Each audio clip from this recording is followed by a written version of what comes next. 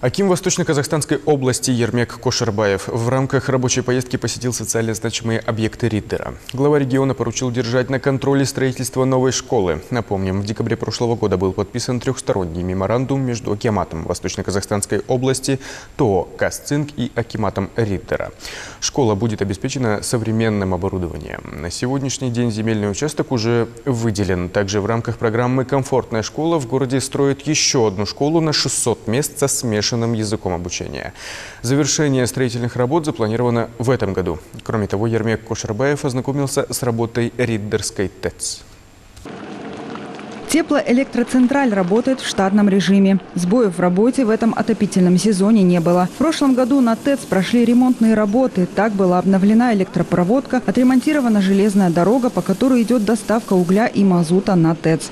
Кроме того, обновлены 2,3 километра магистральных сетей города. Проложены 4,6 километра новых линий. Ремонтные работы также коснулись котлов, подогревателей и турбогенераторов. После обновления за текущий сезон в работе ТЭЦ было 5 отклонений второй степени, в то время как в прошлом сезоне 65 отклонений второй и 5 первой степени. В этом году на теплоисточнике также запланировано проведение ремонтных работ. Алия Симбинова, Алтай Акпарат.